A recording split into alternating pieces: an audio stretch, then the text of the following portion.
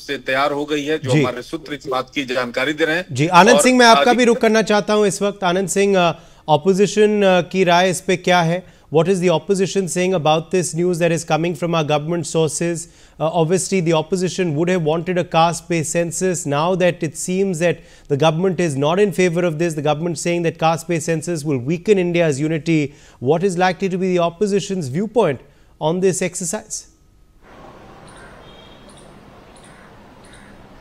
Yeah, well, they look, uh, the opposition leaders, including Rahul Gandhi, who is the leader of opposition in Lok Sabha, has been making the demand of caste-based census across the country.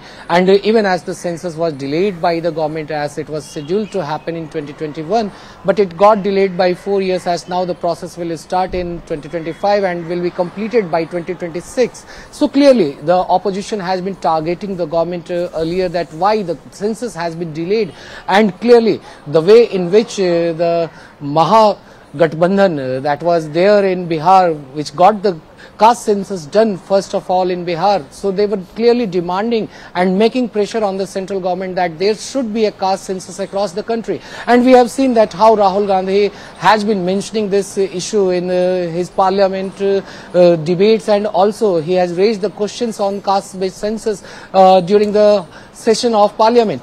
And even outside the parliament, he has been demanding for the caste census across the country and in several other states where the Congress has gone into elections, they have made the promise of conducting caste based census, whether it is Karnataka, whether it is uh, uh, Himachal Pradesh, whether it is uh, Haryana and Telangana. So everywhere the Congress has made the guarantee and promise of uh, implementing and getting done the caste-based census. So clearly now the opposition has got, got the ammo to target the government uh, over the issue that it has decided not to get the caste-based census. And uh, we are still awaiting for the uh, comments from the opposition parties, especially the Congress and even the Samajwadi Party chief Akhilesh Yadav, who has been vocal about the caste-based census, and he has also been demanding, along with uh, Rashtriya Janata Dal uh, from Bihar, that is Tejashwi Yadav, who also has been uh, putting forth the demand for caste-based census, along with his father Lalu Prasad Yadav, who is the former union minister. So. Now the opposition parties will definitely target the Absolutely. Alok Mehta, editorial director of India News, also joining us now. In fact, live. Alok Mehta, uh, what is your uh, viewpoint on this big uh, uh, decision by the government? Sources tell us a census will begin in 2025, unlikely uh, to be predominantly on caste as the opposition would have wanted. Uh, but this exercise expected to continue into 2026. This could also then lead for delimitation as well uh, by the next Lok Sabha elections. Alok Mehta, how are you viewing this? Uh, these big details coming in? Vijayji, very rightly, but government has not announced yet. But certainly, because it was discussing since long, and in COVID period, why opposition saying you have not done something? But in the COVID period, it was not possible at all to go home, uh, home to home. That's why now if government is already uh, earlier also it was uh, telling that okay, we will have census. Now the question of caste. You see, this kind of election time. That's why I'm saying it's not a confirmed report from either from government or opposition, but opposition just saying Rahul Gandhi said, okay, we will compel government.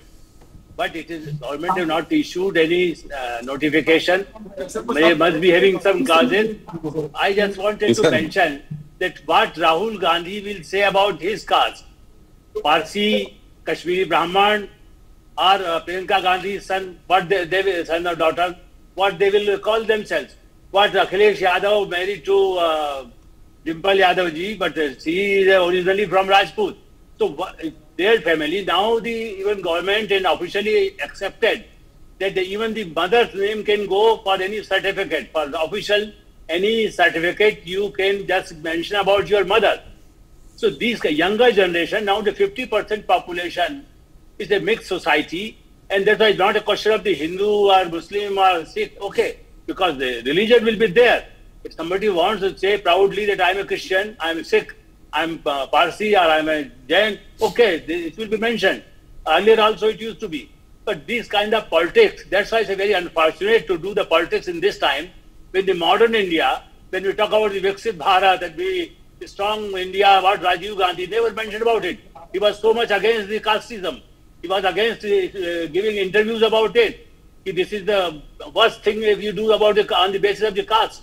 So these kind of first opposition party Rahul Gandhi doing just to please the Yadavs and all in the Lalu Yadav. But even in fact, uh, Lalu Yadav, a family member of big family, nine daughters, eight daughters of what, uh, sons and everything, and whom they are married. I think everybody is not married to the same caste. So these kind of situation is there. They don't feel that what in Tamil Nadu or in Kerala, everywhere people you want to divide these kind of work, and even then again the minorities. Muslims, you go to Ghaziabad, people will say, okay, I'm originally from Rajput. You go to Purnia, they say, okay, my mother was following the Hindu, uh, but maybe my name or my father name is Muslim, but we were following the Hindu uh, festivals or Hindu uh,